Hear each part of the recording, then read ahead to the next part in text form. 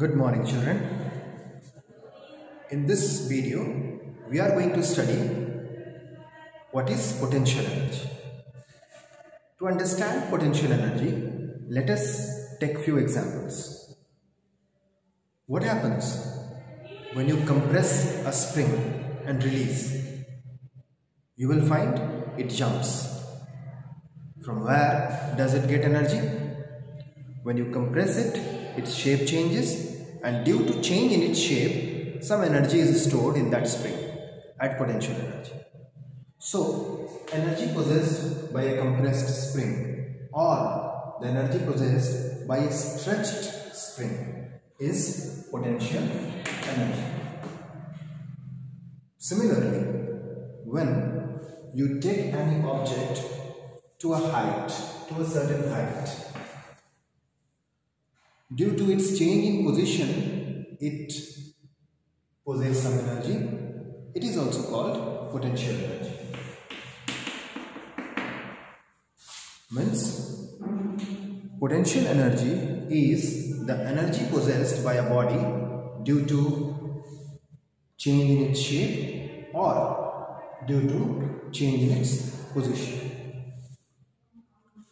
Now potential energy can be classified as elastic potential energy and gravitational potential energy. Now what is elastic potential energy? So the compressed or stretched spring has elastic potential energy.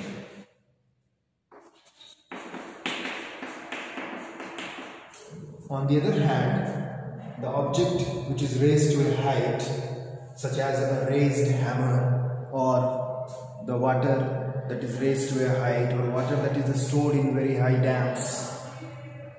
They possess a different type of potential energy that is known as gravitational potential energy.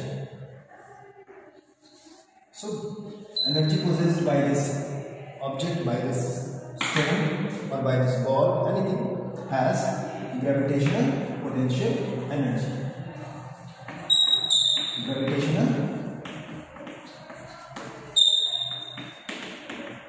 potential energy. The rubber band which is stretched due to change in its shape, it has elastic potential energy. The hammer which is raised by you to hit on a nail has gravitational potential energy due to change in its height, due to change in its position. So what we have read, potential energy is the energy possessed by a body due to its shape and position. Now potential energy can be classified as elastic potential energy and gravitational potential energy. What is elastic potential energy? Energy possessed by a body due to change in its shape. What is gravitational potential energy? The energy possessed by a body due to change in its position. Okay, children, in this video, we have read what is potential energy, what is gravitational potential energy, what is elastic potential energy. In the next video, we shall see an expression, a mathematical expression for calculating gravitational potential energy. That's all in this video. Thank you.